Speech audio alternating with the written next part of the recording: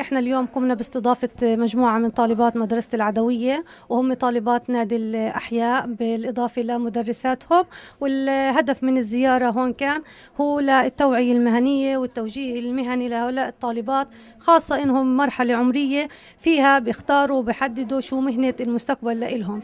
إيه، بالإضافة لفحص نظر مجموعة من الطالبات الموجودات وتعريفهم على إيه، أهم الأمور المتعلقة بمهنة البصريات من قبل الأخصائيين الموجودين عندنا هون في المركز وأيضا تعريفهم عن المشكلات اللي ممكن أنهم يعانوا منها إيه، سواء كان في هاي الفترة اللي بتتعلق بالتركيز بتحتاج لتركيز وبتحتاج إلى مضاعفة الجهود في الدراسة. وأيضا القيام بهيك نشاط صغير أسئلة للطالبات وتقديم بعض الجوائز للإجابات الصحيحة. وشكرا لكم تلفزيون الفجر. ضمن آه، فعاليات آه، لجنة النادي العلمي لمبحث الأحياء العلوم الحياتية في مدرسة العدوية الثانوية.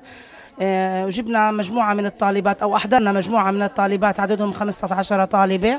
استقبلنا المركز استقبال جيد. قمنا بفحص آه، نظر لبعض الطالبات. من خلال الفحص قمنا بتوعية الطالبات آه، اللي هي التوعية المهنية لتخصص البصريات في جامعة النجاح الوطنية. آه، تعرف على عيوب النظر من حيث القصر نظر طول النظر الانحراف والآلية اللي يمكن استخدامها لتصحيح مثل هاي العيوب. اجينا اليوم على كزيارة مع نادي الأحياء في مدرستنا. لنتعرف على جينا على محل البصريات يعني. آه، لنتعرف على طبيعة العمل أو مثلا آه، إذا في ميول عند الطالبة آه، إنها ممكن إنها تتخصص في في المجال مستقبلا إنها تعرف يعني شو شو بيشتغلوا هون. وبعض الطالبات تم قياس النظر عندهم. وتعرفنا على مثلا أنواع النظارات. كيف كيف يتم قياس النظر؟ كيف بفصلوا النظارة مثلا لحدا؟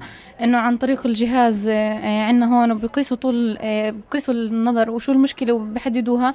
بعدين بيصمموا العدسات حتى إنها تتناسب مع مع العيون وتحل المشكلة.